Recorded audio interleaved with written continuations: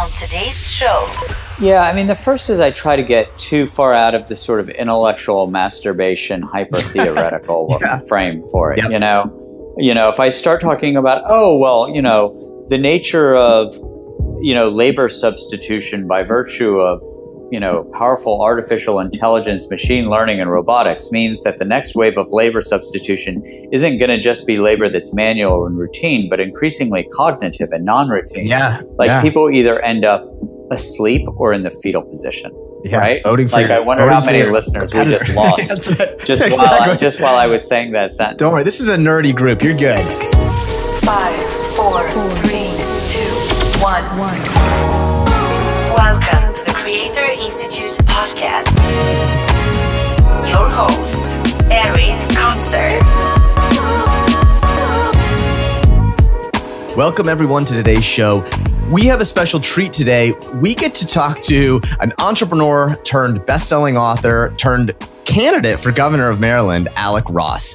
And on this conversation, we get to talk about what it is like to essentially go out and sort of try and communicate to the masses the craziness that is happening and will happen with the world of technology. Alec is a best-selling author of the book The Industries of the Future, where he shares his insights into what's coming for us next. And he talks a lot about technologies that in some ways may scare people, may make people nervous about the future of genomics and big data. And and I think what I loved about this conversation was is, you know, he talks about the real questions people people ask of what should I study in college? What should I, I, help prepare my kid for? What should we do to become more technically literate? And in fact, what he's looking at is how can Maryland, his hometown, Baltimore, where he's from, how can Baltimore embrace this future? What I enjoyed about the conversation is he talks to us about what it took for him to to really become an expert in these multi technologies and why he decided that writing a book was the way to share it. Uh, coming out of his work in the State Department as uh, the head of innovation, working under um, Hillary Clinton and the Obama administration, he had a lot of opportunities. He could have gone and started his next company, but instead he said, "Listen, I have a calling. I have a need to sort of share what uh, what is really the future of these technologies." And and as he shares, it takes a lot to sort of dig deeply, be really thoughtful. He had to spend a lot of time researching uh, to really understand what the future holds for technology. And I think for anyone thinking about creating a book, a podcast about technology and about the future, it gave me some some ideas about how to think about it, how to how to understand that it's not about you know painting a negative view or a positive view it's about painting a view that we can understand which is why i think his book has gone on to sell uh, you know so many copies he, he, shares it's been printed in 18 different languages and, and, and impacted so many um, author entrepreneur and now candidate for governor of maryland alec ross I am so thankful to have Alec Ross with us today. And uh, and when we first met, it was just sort of uh, soon to be author Alec Ross, and now it's you know governorial candidate, uh, Alec Ross. So, Life comes at you fast, man. Life fast, comes at you fast. man. Boy, the last email was like, I remember it vividly. You're like, listen, I'm super busy. Let me get this book launch and we'll get back. And, and here we are. Now you're probably running around 24 uh, 7. So uh, thanks for hanging out with me today. No, thank you. Look, it's a, it's a real treat for me. I love it. So, what does it feel like? I got to ask this question. You've been in the entrepreneurial trenches, you've been in government, and now you're in the political campaign tell me like compare the experience of the intensity of what it's like seeing those worlds to being a candidate in in a sort of a major elected office like this. It's intense. I mean it's deeply personal. I guess one of the most disorienting things for me was you know i've always lived my life in teams mm-hmm. you know whether it was sports teams whether it was you know organizational teams like with my startup or then a campaign team, like when I was running tech policy for Obama's first campaign. Uh, it was always it was always more we mm-hmm. than me. Mm-hmm. And the one disorienting thing about this campaign is it's like a name. Yeah. It's your name. Like yeah. they don't, you know, it's I am trying desperately for this to be more we than me, but it is different to sort of get out there with your name and your face. And it's intense but not necessarily not in an all bad way. Yeah. You know, at first it felt weird. felt, you know, it felt incredibly arrogant. Yeah, almost sure. To get out there and you know talk about yourself and you know your ideas. Me, me, me, me. First right. person singular.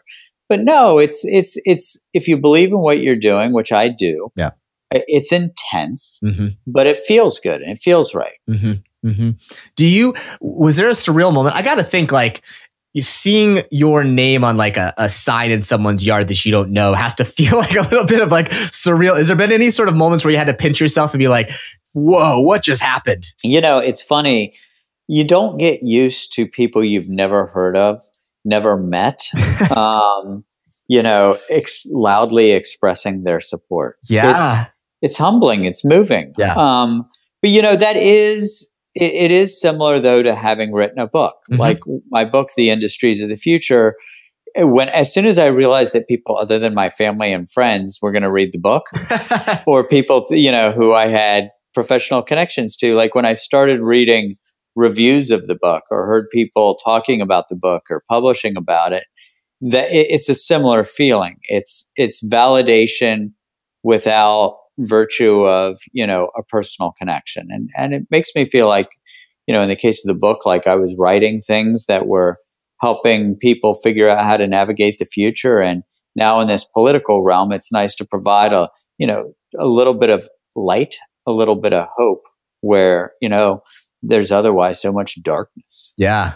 Yeah. Now your start in a lot of ways came as an entrepreneur. It's is it interesting at all to see, you know, I was reading some of the the press about you. Sometimes you're often described as author Alec Ross first. Is that sort of ever a little bit odd? Like did you ever set out with that to sort of have that be the first descriptor of you? You know, I I got to tell you all of these feel a little odd to me because I do live mm-hmm. this very co- kind of holistic life. Mm-hmm. Um, you know, I've been I'm a former Obama administration right. official. I'm a former public school teacher. I'm a I'm an author. You know, so I have done lots of different things, and I don't know that I think any one thing really describes me. Yeah. Um, but I do have to admit, like, I don't mind being described as author um, because you know there is some permanence to a book. Yep. Like there is something about writing that is that sort of it's it goes beyond sort of our core, our our day to day, our week to week, our month to month, our quarter to quarter mindset about things. So I actually don't mind it. Yeah, and I like it. And it's not like you just wrote a book. Though. I mean, you wrote a, a, New York Times bestseller. It was named Book of the Year by Tribeca Film Festival. So, like, you know, you you, you also wrote a damn good book. So that kind of doesn't. Well, you're doesn't nice to say that. Either. You're nice to say that. You're nice to say that. It just, you know, it just one thing that's cool. It just got translated into its 18th language. Really. Um, yeah. So I love that it's not just an American book. Yeah. Um, yeah. I like that I wrote it, you know, look, it's written from the perspective of an American, but it was written to sort of bring an intentionally global perspective, you know, mm-hmm. to talk about the forces shaping our future, not just in in the United States, but globally. And so mm-hmm. I do like that it's been global as well. It's funny going from sort of hyper global you know, writing the industries of the future to hyper local, right. running for governor of Maryland. Yeah, sort of flip things and uh, like pancake feeds and fish fries, and uh, I mean, the right. get real, get your hands really yeah. Dirty. And in Maryland, it's it's like it's uh it, it it's crab feasts. Yeah, yeah, no, that's, that's right. I love it. I love it. That's right. You set out after like i want to kind of go back to the point when you decided to write this. You'd you'd kind of been on this global adventure and i want to, do a quick quote from the book where you know, as part of your time in the Obama administration, you'd worked with Hillary Clinton, and you said, you say in the book, I quote, uh, the time I spent gaining a global perspective on forces shaping our world helped me to understand exactly why life had grown so rough in my home in the hills, and why life was getting so much better for most of the rest of the world. The world in which I grew up, the old industrial economy, was radically transformed by the last wave of innovation. So you you you come out of this intense experience, kind of being the the forebearer of innovation globally, you know, America leading the way, and you come back and you you know you have all these opportunities in front of you. Why did you decide to you know maybe not go start a company instead focus on a book? Why was the book the tool that you decided was going to be your your uh, your sort of next act? Because I thought that more than creating a new product, business product or process, what I really wanted was for people to understand that which was being built. I could have gone and built one more thing. Yeah. But I do think there's connective tissue. I think there's connective tissue between digitization, between um, the changes in labor economics, mm, between yeah. what's going on in education. Like, I do think that the forces that are shaping our future technologically and scientifically have these cultural impacts. They have these these economic impacts. They have developmental impacts. And I had never read a book that was accessible, like written for non engineers. Right, right. That sort of tied it all together. You know, you could read a 300 page book about cybersecurity or a 300 page book about big data or a 300 page book about artificial intelligence and robotics or a 300 page book about, you know, what skills and attributes that do today's kids need in tomorrow's world. But there'd never been sort of a 250, 300 page book about all of those things mm-hmm. that shows the connective tissue between them. Mm-hmm. And so mm-hmm. what I really wanted to do was take a really confusing world and help more people understand it. Mm-hmm. And I thought that that would help more people, mm-hmm. that that would be a greater resource than starting another company. Yeah. Starting another company is great, but what I really wanted was, you know, talking to these moms and dads who are trying to figure out what to do with the education of their 11 year old. Yeah. And saying, what do I do for the next five years? Right. You know, look, I had traveled the equivalent of 25 circumferences of the globe. Right. Of the two, that is, it's the equivalent of two round trips to the moon with a side trip to New Zealand. Oh God. Wow. Yeah. And just having seen what was, what was shaping things, um, I wanted to try to play a role of translator. Mm-hmm. Um, yeah, I wanted to. I wanted to play a role of translator. That's that's really it. That's what I thought would be would have the most lasting effect. Mm-hmm. And you you kind of you identified these sort of five ish themes or industries that would dominate. You mentioned a few of them: robotics, cybersecurity, genomics, data analysis, digital currency. So you know, being in the, the tech world, these are sort of buzzy things that we hear all the time. Now that you're sort of connecting this to, you know, real live Marylanders, real live people, what do you tell people that that are that sort of suburban parents with an 11 year old about these sorts of trends that they need to know? Because I, I think you've talked a few times about the divide that's coming out. How do you help them start to dive into some of these topics to see how it will affect their lives coming in the future? Yeah, I mean, the first is I try to get too far out of the sort of intellectual masturbation, hyper theoretical yeah. frame for it. Yep. You know, you know, if I start talking about, oh well, you know, the nature of you know labor substitution by virtue of you know powerful artificial intelligence, machine learning, and robotics means that the next wave of labor substitution isn't going to just be labor that's manual and routine, but increasingly cognitive and non-routine. Yeah, like yeah. people either end up asleep or in the fetal position.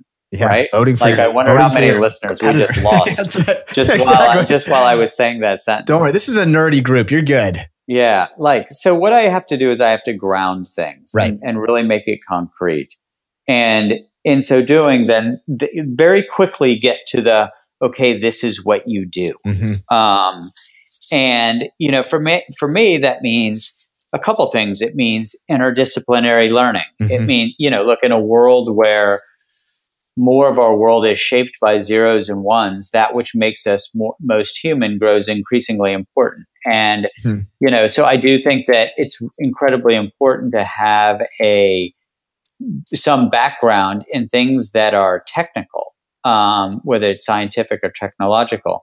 But I think that to the extent that that can married up with, be married up with domain expertise and what we associate with the humanities, then it really makes for not just people who can make a living in tomorrow's world, but people who can thrive and lead in that world. Yep.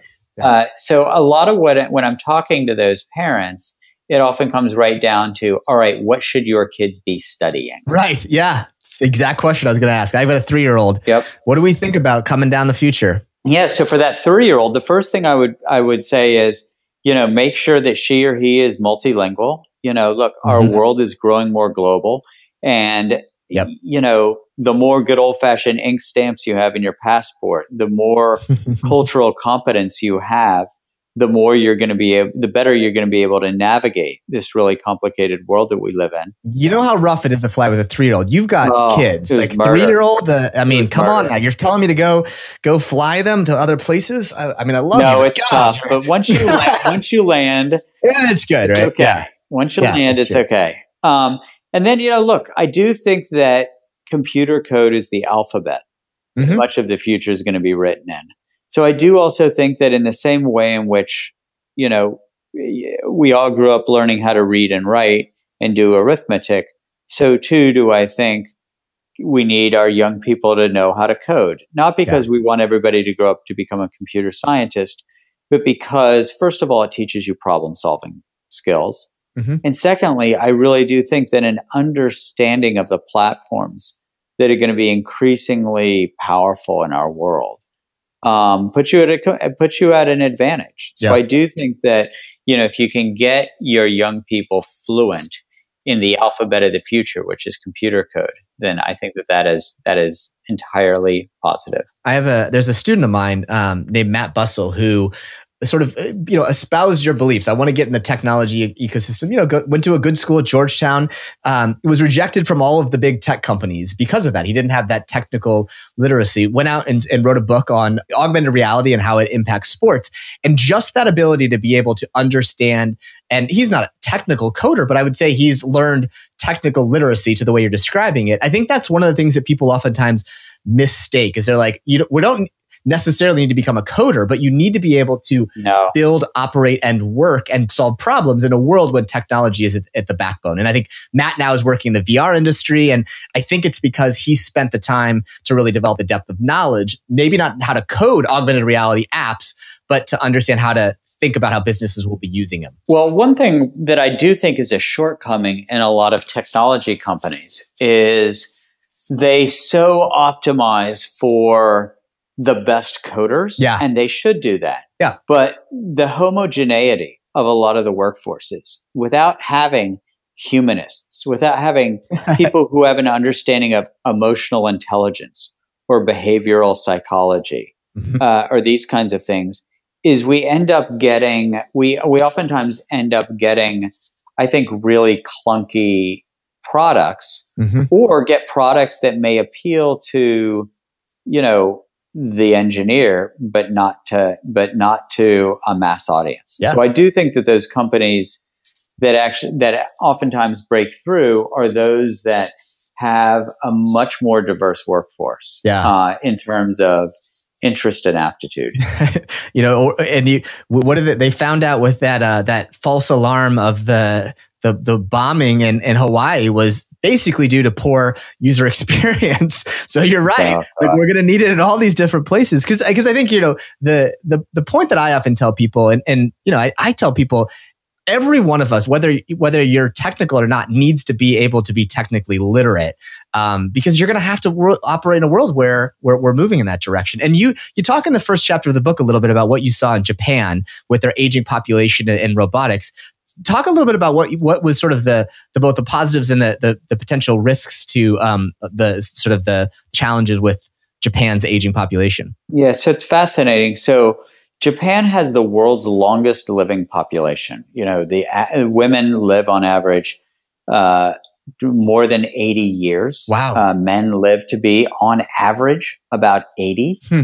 Uh, what's interesting too, though, is they also have some of the world's most restrictive immigration policies. Hmm. Uh, and so there are literally not enough children and grandchildren to take care of the grandparents. Hmm. And it just the math, right? Like in the United yeah. States, if you think about it, we have, you know, immigrant populations that provide a lot of the sort of low to modest, modest wage um, labor in this country. That is not the way that it is uh, that is not the way that it is in Japan. Uh, and so what's interesting is the robotics companies and and oh by the way even the big car manufacturers like Honda and Toyota which increasingly are becoming robotics companies they've they've created home care assistants that are robotic wow uh, it's intense yeah. i mean li- literally robots that will lift you know grandma out of bed mm-hmm. uh, put her in the bath, one that even plays the violin for entertainment. I mean, it is, it's like something out of a movie. Uh, and now, and look, I don't know how much of this will spread to the West. I mean, what's interesting is part of what enables this is culture. Yeah. Uh, in the, in the East, I mean, in the East, in, in our society, in Judeo-Christian societies, in our, you know, from in our mythology, uh, in our literature, we are taught uh, to to not bring to life that which is an- inanimate. You know, whether it's Icarus and his waxed wings to to Frankenstein and everything in between. It's like do not breathe in life into that which is inherently lifeless.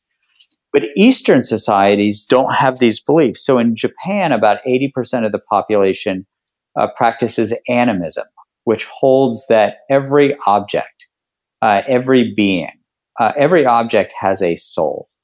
And so they don't have the cultural hangups about things like robots and robotics that we do. Yeah.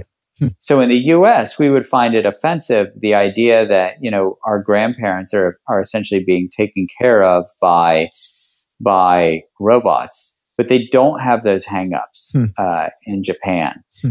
And you know, look, it's again, it's it's promise and peril and yes, all of this. Right, that's right. You know, I do think that the idea of grant of, of older people aging with machines. I mean, there is something a little grim about that.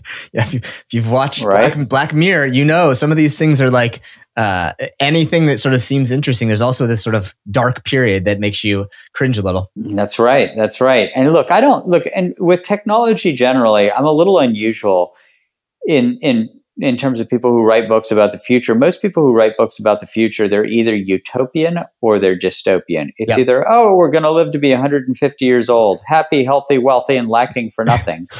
or it's sort of fist clenched, bedwetting yeah. dystopianism. Oh, dear God, the world's going to end tomorrow. It's either Mad Max or it's Star Trek. Yeah.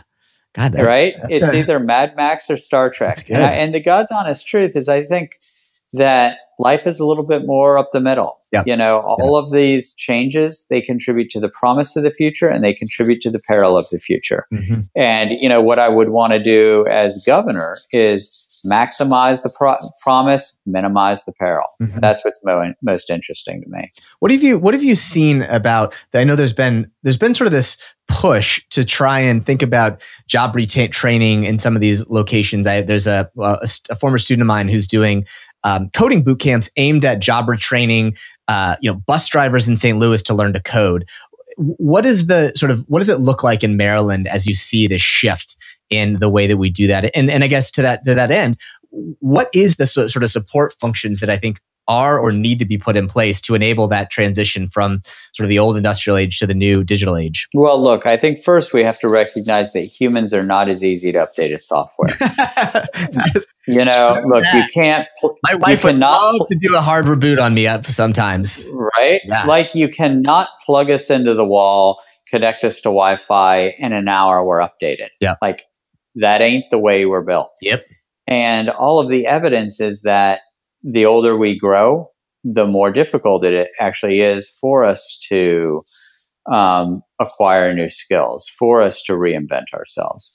And so I think you, you first you have to have an intellectually honest understanding of the art of the possible. Mm-hmm. You know, you can't take every 50 every 52 year old truck driver who's been driving a truck for 34 years and say, "All right, we're going to teach you how to become a cybersecurity yep. systems analyst." Right. Like it just doesn't, you know, it, will it'll work sometimes and it's inspiring, but it's all it, it's it's not, not always going to work. Anecdotes the rule is, I think, probably the, the, there there certainly are those anecdotes, but it is it's a bigger substantive thing that is going on. And, and to your point uh, that you write in the book a little bit, it's got to start earlier too. You can't just sort of say, flip yeah. a switch and you now are going to, like you said, you're going to be managing the systems for, uh, for a, you know, a Fortune 100 bank. That's right. And, and I also think that, you know, a lot of people in my world, you know, coming out of technology entrepreneurship, they do think exclusively in terms of technology. They think in terms of software and coding.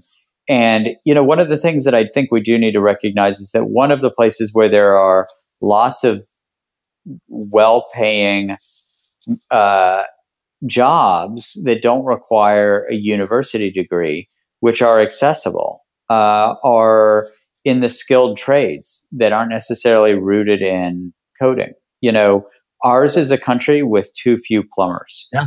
Uh, yeah. We have, you know, we have a deficit of electricians. Yep. I mean, find a master electrician. She or he is probably close to, you know, 60 years old.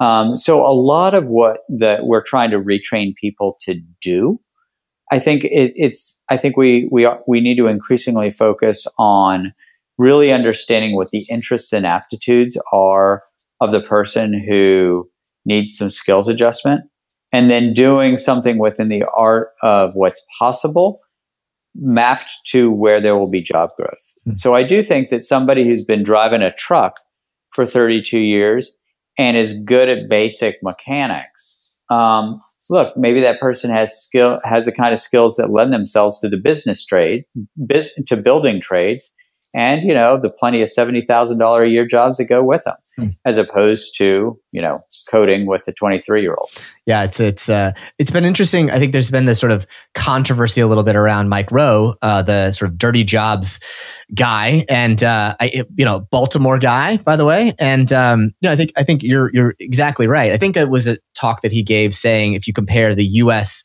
job market and the number of people who go into the college market versus Germany, it's it's just wildly different how we think about the trade, so to speak, and um, and those career pipelines, which I think is a you know obviously we have connections to education, but it, it's an interesting thing that'll sort of have to shift over the coming coming decades. That's exactly right. That's exactly right. So how did you uh, the one of the things that we often see is that you know, and I think we hear this a lot. If people say, "Hey, I want to work for myself one day. I want to be an entrepreneur. I want to be in technology," um, you in some ways with this book I, would almost like to say you had to get smart enough to have, have, co-founded a dozen different companies and sort of all the different industries you explored into how did you get deep enough to have the depth to be able to thoughtfully write about that what was the process that you go through to sort of discover you know the the trends the issues because it, i think you're right we said earlier you probably could have co-founded a business in any one of these five or you know more industries based on the knowledge you had how did you do that in a way that was able to have such depth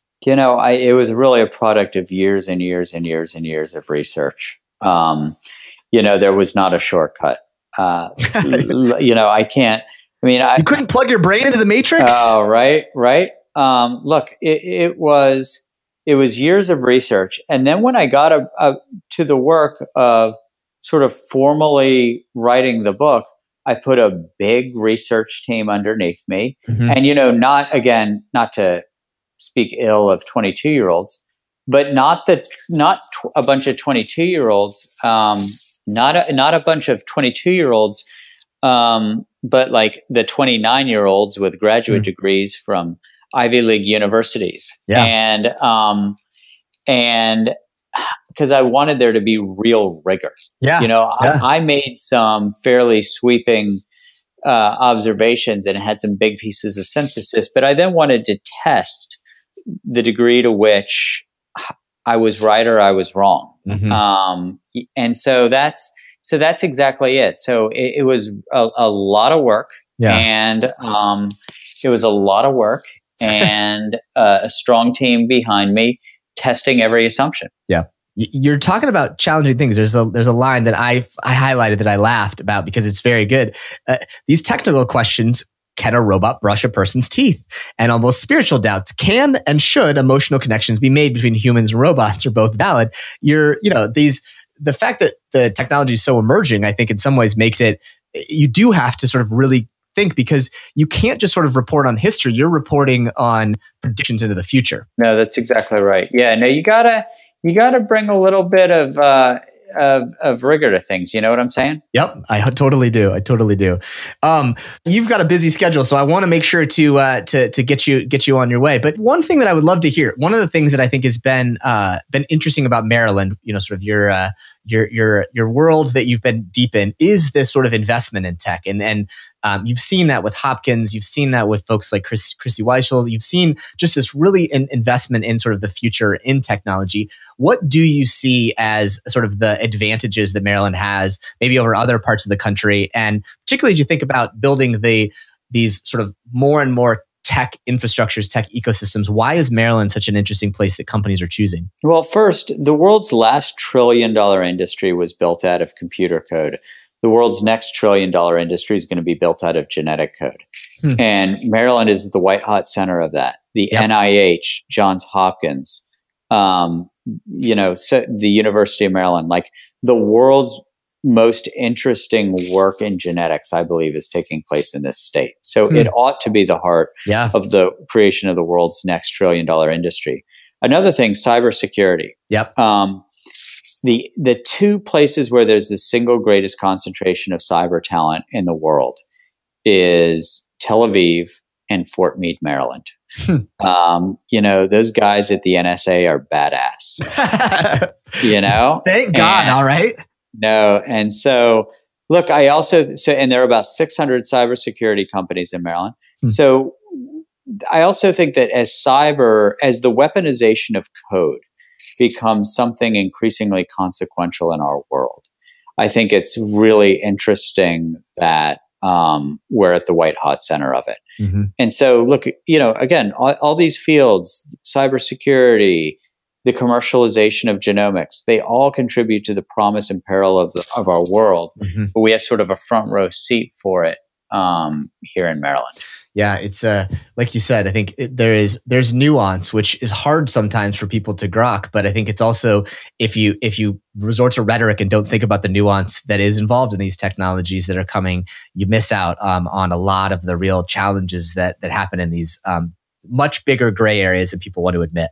Yeah yeah no that's exactly right. That's exactly right. And look from a standpoint of governing uh, i think that we need people who are fluent in these areas that so much innovation is taking place in yeah. and who bring an entrepreneurial mindset. And I think that instead of just having a bunch of lawyers decide our public policies for us, instead of a bunch of lawyers um, and career politicians governing us, I think we need to get some entrepreneurs in the mix too. Hell yeah. I'm cheers to right? that, my friend. I love it. I mean, it's, uh, I, I think you said it at the start. I think that the intensity of which you have you have attacked the campaign, you've attacked governing before, is uh, I, I, don't think there's any better way to sort of deal with ambiguity, uncertainty than than there is starting a company. And uh, you've done it from the the two guys and a dog in a garage stage all the way up to a real business. So I give you uh, mad props on that. Oh, thank you, man. Thank you. You're welcome. You're welcome. Well, I'm so thankful to have you. I know it's been uh, it's been an adventure for us. I, I, it's funny to think it's been two years since we first started chatting, and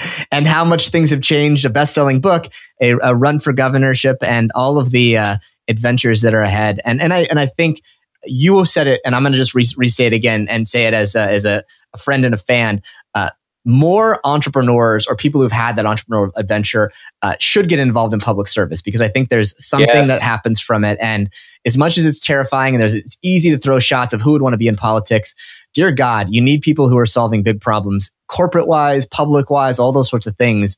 And so I give you big props and uh, big fan and high five as a one entrepreneur to an entrepreneur uh, doing good things.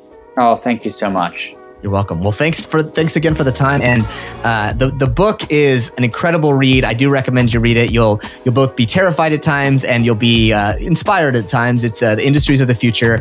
Uh, and and God, there, I, I couldn't even find like hardly any any negative reviews. So it turns out you've written something a lot of people love. And uh, and now author Alec Ross to Governor Alec Ross. Excited to have you today. Thank you, brother. I appreciate it. You too, man. More soon.